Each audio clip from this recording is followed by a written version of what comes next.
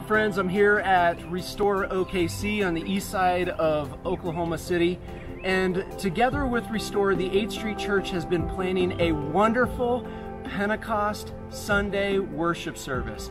We're actually going to cancel the worship services that go on at the 8th Street Church in Midtown, and we're inviting everybody to come to this property here at Restore OKC uh, to worship with the people who are doing really, really, really good work and the neighbors who live here in this area.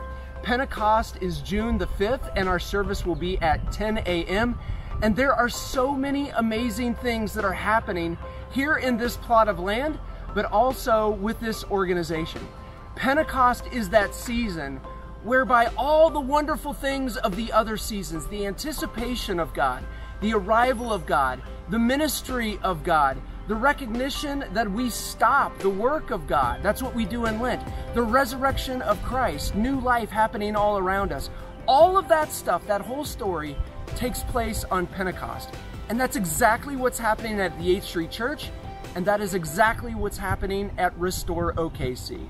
So we want you to come. More information will be given, but we want you to come to worship at 10 a.m. on June the 5th here on the northeast side of Oklahoma City with our partners and our friends at Restore OKC.